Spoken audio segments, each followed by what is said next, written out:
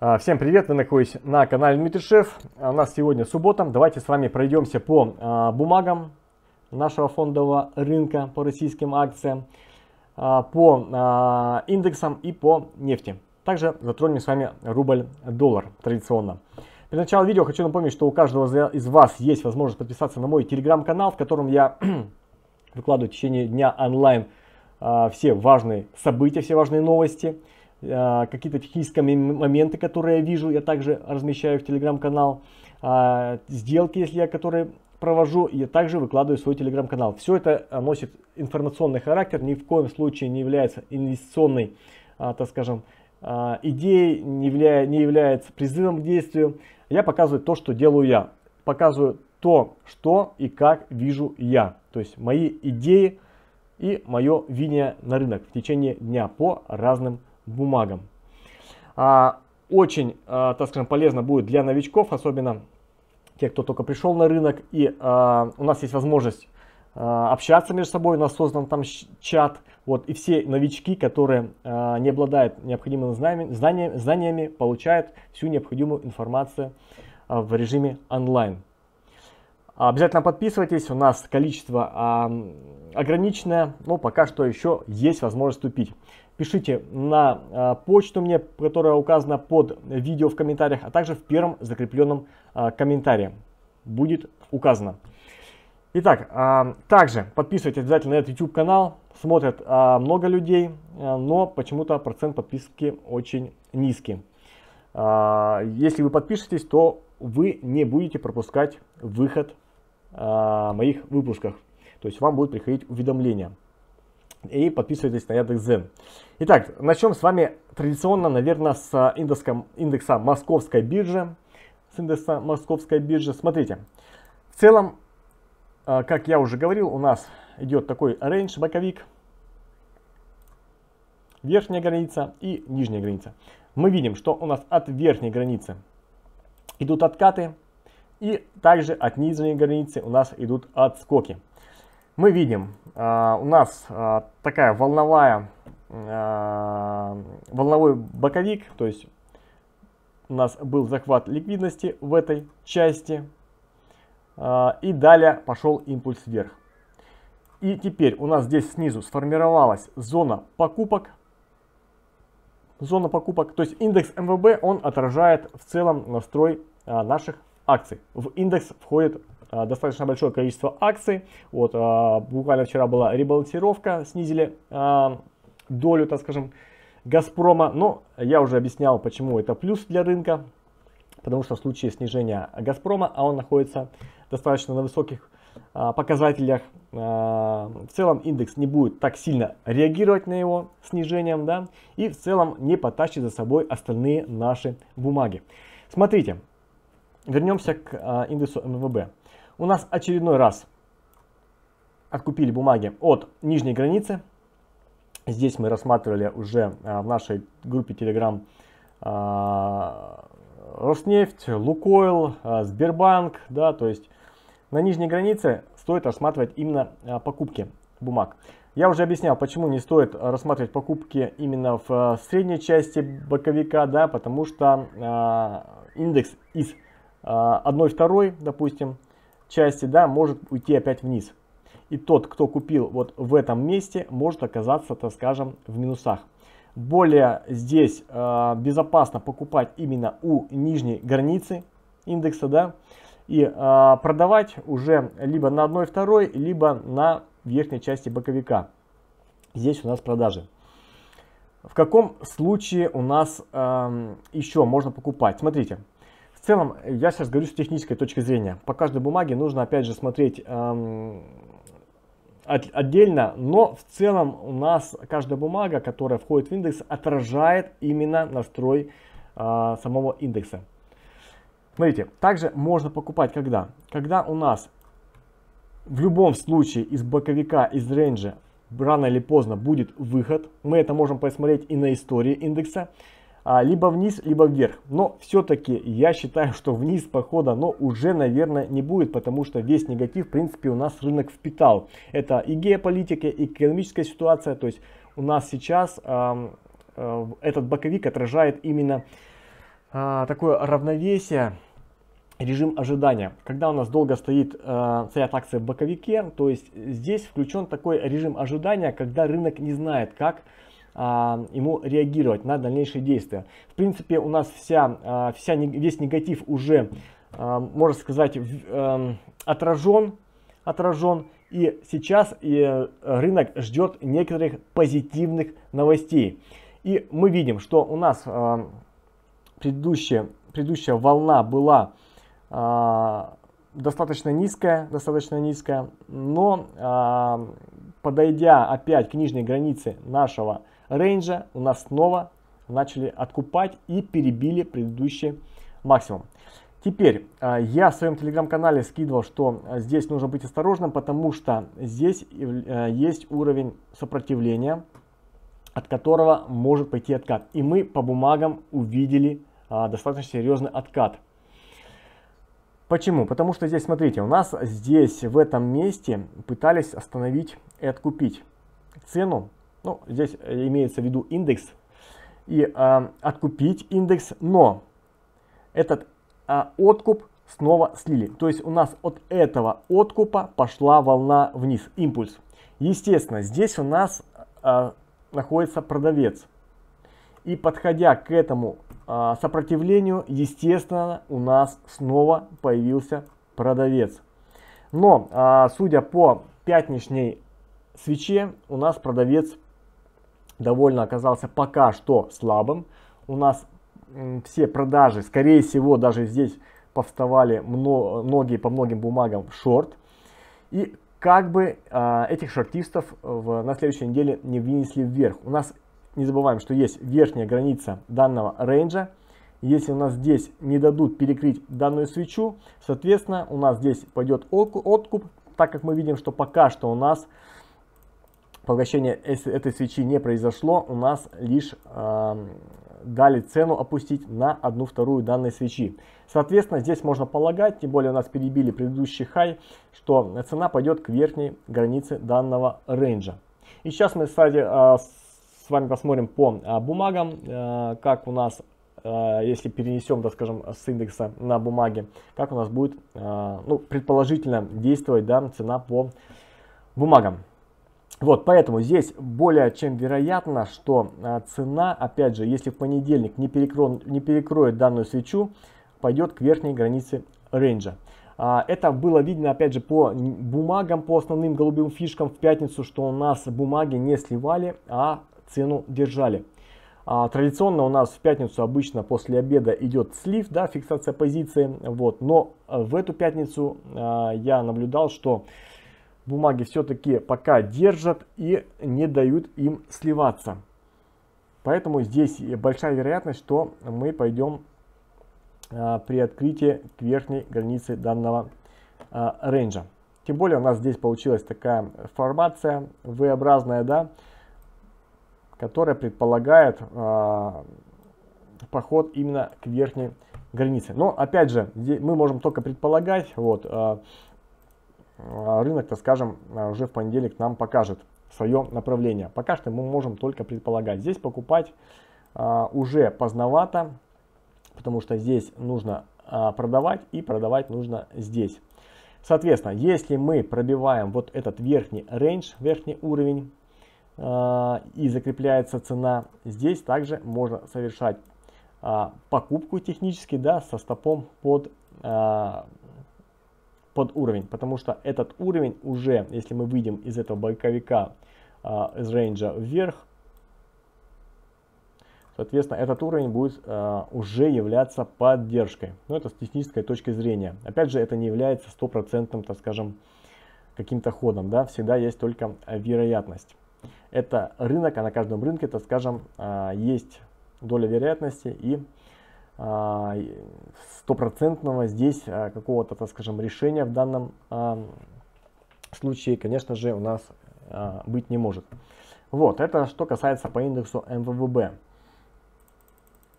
Далее, если мы перенесемся с вами на нефть, на нефть, здесь что я говорил по нефти? У нас, во-первых, здесь сверху уровень продаж, я об этом писал, И а, в своем канале скидывал уже много раз, и на YouTube канале говорил, что у нас здесь сверху зона продаж. И, естественно, с этой зоны должны быть продажи. У нас с этой зоны одна волна был импульс, вторая волна, то есть тест импульс. И снова мы подошли а, к этой зоне, от которой 100% должен появиться продавец. И мы видим, что в пятницу у нас достаточно серьезный был а, обвал по нефти. Мы пришли по нефти опять вот в этот рейндж. И вот из этого рейнджа может пойти опять покупатель. И у нас вполне вероятно может сформироваться вот такой боковик уже на уровень выше. То есть этот рейндж был таким зон, такой зоной накопления, из которого а, у нас цена вышла вверх и уперлась в зону продавца. В зону продавца. Поэтому, если у нас цена а, по нефти пойдет вверх, то а, это поддержит у нас, во всяком случае, должно поддержать а, котировки неф нефтяных компаний. Нефтяных компаний. Вот. То есть э, моя идея именно по нефти также э, мы видим, что э, полностью э, реализовалась. То есть я говорю, что здесь 100% должен быть покуп продавец, потому что у нас зона продавца. У нас импульсы были достаточно серьезные от, с этой зоны. Вот, пока что сейчас мы видим, что импульс уперся в этот боковик. У нас цена здесь ударилась в верхнюю границу боковика. Вот. Если мы ее в понедельник не пробиваем, соответственно, здесь могут опять пойти покупки, потому что у нас с этой зоны был покупатель. То есть здесь такая двойственная ситуация. У нас а, зона продаж, зона покупок. То есть с этой зоны у нас идут продажи, с этой зоны у нас был импульс вверх. Соответственно, с этой зоны теперь у нас должен, по идее, появиться продавец, ой, покупатель, вернее. Вот. Если покупатель появится, у нас цена не пробьет эту, э, эту верхнюю границу данного рейнджа, соответственно, у нас а, это отразится на нефтяных котировках наших а, нефтяных компаний. Вот, как-то так. Далее, по а, американскому рынку. Давайте перейдем с вами S&P 500. Я предлагаю, наверное, как сделать. Сейчас одно видео сниму именно по индексам а второе видео пройдемся по бумагам, потому что, ну, на самом деле, очень-очень большое получается видео. А, я стараюсь затронуть все аспекты, да, все моменты, вот, и а, видео получается очень длинным. Он же получилось он буквально а, больше 13 минут. S&P 500, смотрите, о чем я говорил ранее. Те, кто на меня подписан, те, кто на меня подписан в телеграм-канале, об этом знают. Я уже не раз говорил, что S&P 500 я жду на уровне 3550, 3600. Это вот этот уровень. Так, немножко кривовато, давайте. Вот 3600, 3550. То есть это зона, где я говорю, что жду S&P 500. Еще вот в этом месте я уже говорил, что я жду именно вот к этим уровням. И что мы видим с вами? Мы практически в пятницу до этого уровня допадали. Допадали у нас от, а, с этого уровня пошел очень серьезный импульс. Вообще на чем падает Америка? Ну, естественно, это риторика а, ФРС, риторика Паула. Вот, и она, конечно же, говорит нам о том, что риторика Паула ужесточается. Паул на последнем заседании сказал, что а, будет принимать а, более жесткие меры, будет а, более агрессивно поднимать ставку, потому что инфляция а, по-прежнему растет. Мы это видим по статистическим, а, статистическим данным, которые выходят, да, инфляция растет вот, в Америке. Это же все отражается и на а, а, ценах на нефть, да, то есть э, цены на нефть растут, э, все это, конечно же, повышает именно инфляцию, все это, а, все те моменты, которые Америка вводит в плане санкций, в плане эмбарго, все это повышает цены. Повышает цены и это конечно же, прямым образом воздействует на инфляцию. И а, в будущем рынок уже отыгрывает уже будущее э, повышение. То есть сейчас рынок отыгрывает уже повышение ставки в будущем. То есть на следующем заседании, если будет повышаться ставка, она скорее всего будет повышаться ставка, то рынок уже закладывает это и заранее падает. Соответственно, если следующее повышение ставки будет последним, то рынок эту ставку отыграет, сейчас упадя на уровень 3600. Вот. И если э, такой жесткой территории больше, в дальнейшем больше не будет, то этот, э, эта зона будет являться э, ну, некой остановкой, от, которого, возможно, от которой возможно и вполне должно быть, конечно же, э, пойти рост. То есть по, должен быть отскок с этой зоны. Мы видим, что здесь у нас было накопление по американскому рынку. И пошел импульс вверх. Естественно, с этой зоны, немножко неправильно очертил, 3600, с этой зоны должен быть отскок. Отскок вполне вероятно будет вот в таком же объеме. Здесь на самом деле достаточно высокие отскоки. Вот, э, ну, э, если так вот посмотрим, да, с вами. Так, 3 900, 4, ну, порядка порядка 300 пунктов. Если кто-то а, торгует американским рынком, а, индексом американским, то здесь можно присмотреться к этому уровню на момент отскока. Порядка 200-300 уровней вверх может индекс с этой зоны отскочить. То есть можно здесь обратить на это внимание.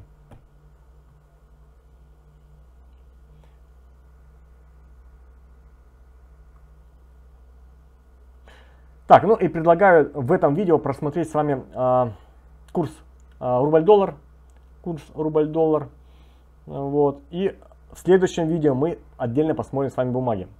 Давайте с вами перейдем на рубль-доллар, на валютный рынок. И здесь у нас достаточно интересная информация.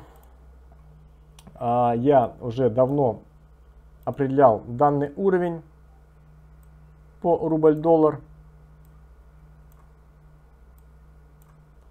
Сейчас мы его с вами получше рассмотрим. Так, уровень у меня 56.19. А, это достаточно серьезный исторический уровень. Мы это можем с вами видеть вот на этом а, графике. Здесь у нас являлся так скажем, поддержкой. Здесь являлся поддержкой. И снова мы пришли на этот уровень.